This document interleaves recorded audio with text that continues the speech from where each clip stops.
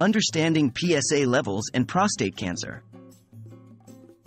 Hello, everyone. In today's discussion, we'll be addressing a frequently asked question. If my PSA level is above the normal range for my age, does that mean I have prostate cancer? Understanding what PSA levels mean and how they relate to prostate health is crucial, especially as men age. We will go through this step by step. What is a PSA test? Firstly, it's important to understand what PSA is. PSA stands for prostate specific antigen, a protein produced by both normal and malignant cells of the prostate gland. The PSA test measures the level of this protein in the blood. An elevated PSA level can be an early indication of prostate problems, but it doesn't necessarily mean you have prostate cancer. What does an elevated PSA level indicate? An elevated PSA level could indicate a variety of conditions, not only prostate cancer. It may be a sign of prostatitis, prostate inflammation, benign prostatic hyperplasia, enlargement of the prostate, or a urinary tract infection. Even certain medical procedures and medications can temporarily increase your PSA levels.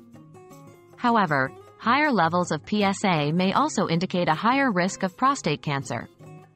It's important to remember that the PSA test alone cannot diagnose prostate cancer. It's one of the tools that doctors use to determine whether further testing, such as a biopsy, is needed. What are the normal PSA levels? PSA levels are generally expected to be under 4.0 nanograms per milliliter. However, normal PSA levels can vary with age. Moreover, some men with prostate cancer might not have elevated PSA levels, and some without prostate cancer might have high levels. Therefore, the test results must be interpreted carefully by your healthcare provider in the context of your overall health and symptoms. What should you do if your PSA level is high? If your PSA level is higher than the normal range for your age, it does not automatically mean you have prostate cancer. However, it's a signal that you should consult your healthcare provider to understand what might be causing the increase.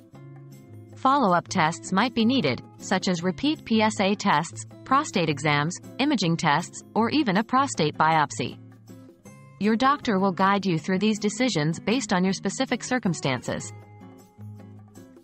In conclusion, having a PSA level above the normal range for your age isn't a definite indicator of prostate cancer. It could be due to various other conditions as well. But it's always important to take these test results seriously and follow up with your healthcare provider for further investigation. Remember that knowledge is power when it comes to your health. So, stay informed and don't hesitate to ask questions. Your health is always worth it. Until next time, take care.